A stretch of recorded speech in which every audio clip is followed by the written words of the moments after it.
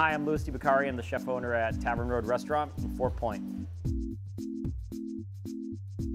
One of the things that I always wanted before I opened Tavern Road was someplace to use as a test kitchen.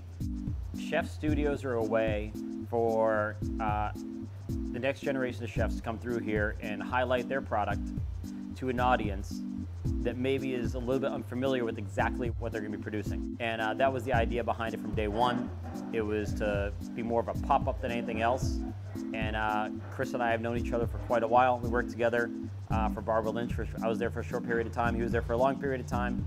And uh, you know, he's, he, he's, he's exactly the type of person that we want to come in and, uh, and use our kitchen.